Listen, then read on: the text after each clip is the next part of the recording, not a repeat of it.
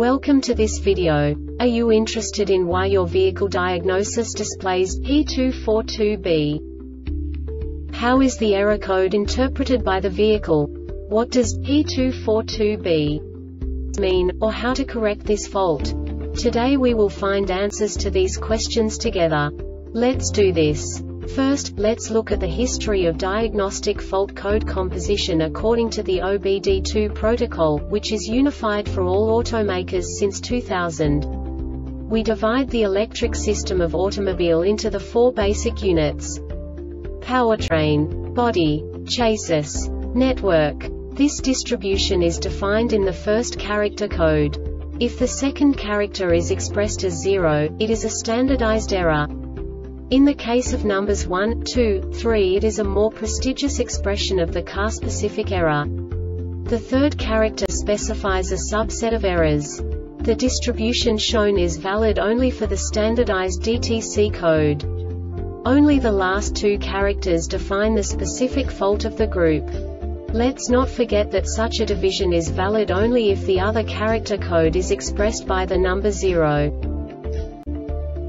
Our website airbagreset.sk produces useful videos for you. You do not have to go through the OBD2 protocol anymore to know how to troubleshoot any car breakdown. You will find all the diagnostic codes that can be diagnosed in a GMC vehicles. Also many other useful things. The following demonstration will help you look into the world of software for car control units. You unbelievably can move the video a bit further. The error code is split into two bytes consisting of 16 bits. One bit is the basic unit that each computer works with. The bit has two logical states. 0, low level, 1, high level. By combining the first two bits, the basic character of the error code is expressed. The next two bits again determine the second character. The last beat styles of the first byte define the third character of the code. The second byte is composed of a combination of 8 bits. The first 4 bits determine the fourth character of the code. And the combination of the last 4 bits defines the fifth character. A single byte conceals 256 possible combinations. We now know in what way the diagnostic tool translates the received information into a more comprehensible format. The number itself does not make sense to us if we cannot assign information about it to what it actually expresses.